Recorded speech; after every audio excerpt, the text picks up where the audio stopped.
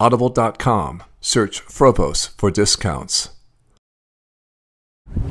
Hi, my name is Mark Frobose, the language guy. Did you know that when I was in middle school, I was told I had no aptitude for foreign languages because my algebra scores were too low? And guess what? They were wrong. Spaliaron, se equivocaron, y se sont trompés. Why? Because now I speak seven languages fluently, and I can teach you how to do it too. Just watch my free videos and learn how.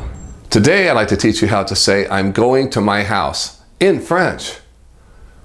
Je vais chez moi. Je vais chez moi.